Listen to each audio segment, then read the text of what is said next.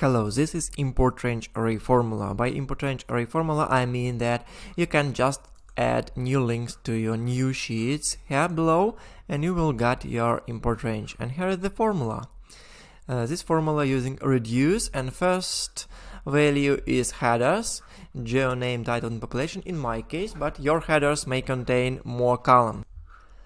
Uh, next, we use a filter to just filter out sources. And next, we use lambda function in order uh, to join with this array. Initial array, which is in, in our first uh, stage is uh, geo name, title, and population, and then add new data uh, with import range v of data a2 through d. So now we have three data sources, and uh, this this is uh, how it uh, works and uh, let's see what goes uh, next. If I add new source I will get more data. Now I have uh, 12,000 of rows. And if I just add the same data source I will repeat it again and I will get more in my uh, uh, import range array formula here. So let's see it's recalculate things and you just bring right now.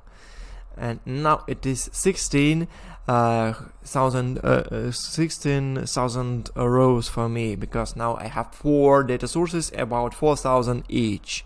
So this works like an import range array formula. And uh, now you can see that it is that simple